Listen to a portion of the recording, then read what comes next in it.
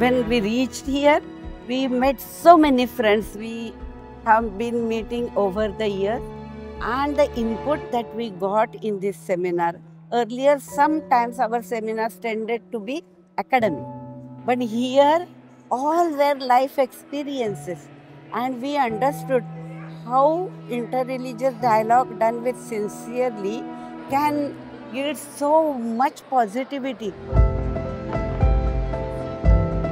There were 480 participants from 40 countries at the Interreligious Conference entitled One Human Family, promoted by the Focolare Movement and held from May 31st to June 4th, 2024, in Castel Gandolfo, Rome, and Assisi.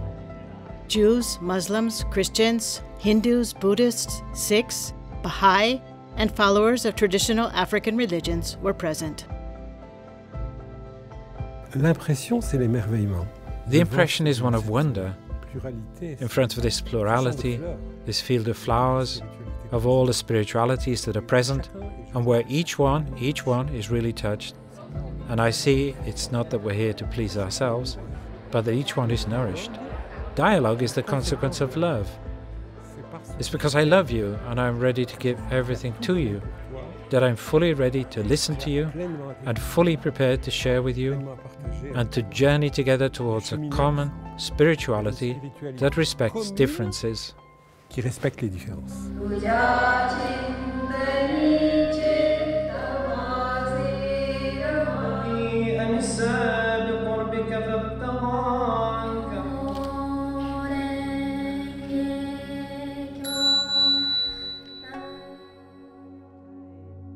Qui respecte les différences.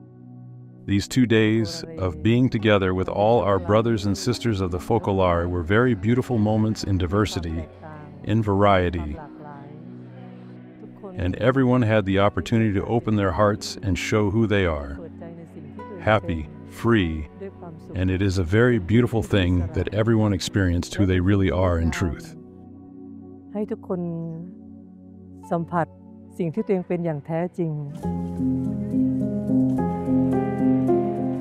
È un seme di speranza enorme.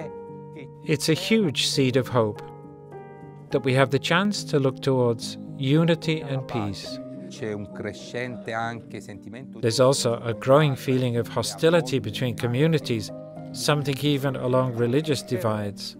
allo stesso But at the same time, we have to recognize che that, on the other hand, religions are among the most active forces that want to resist this process. questo uh, processo.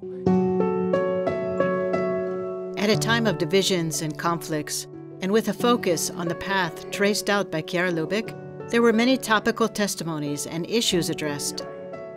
From how to conceive a politics and an economy of peace, to the impact of artificial intelligence in relationships, to the commitment to care for the planet. I think it was a very meaningful conference, also in a practical sense, because it addressed head on the issues of economic inequality, economics, and technology, which have become big challenges in our lives, globally and also in Asia.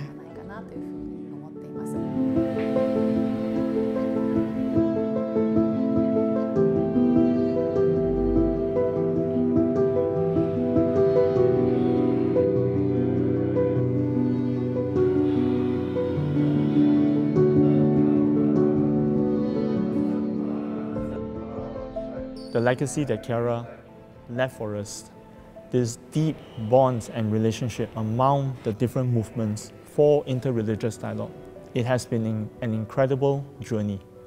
And I would argue that at this stage, it is now a moment for maturity. For example, today, we had the presentation by Shanti Ashram Youth together with Rissho Kosei-kai and Focolari to suggest a permanent leadership incubator of young leaders of the three movements to constantly deepen these bonds. This is a moment for new beginnings.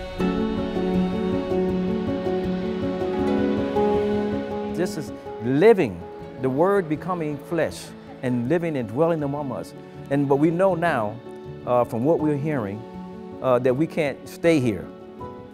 But most of the world haven't seen this, so it's our job to share it. We have to share it to them with the spirit of love that we've embraced.